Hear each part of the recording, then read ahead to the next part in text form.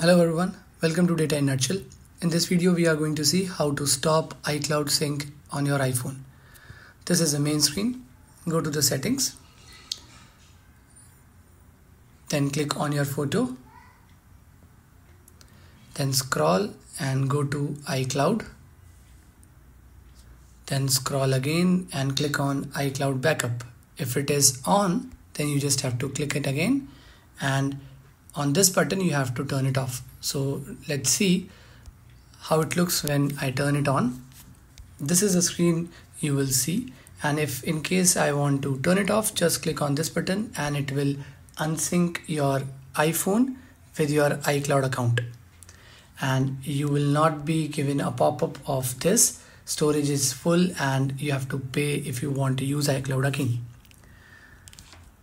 and this is how you can unsync your iCloud on your iPhone.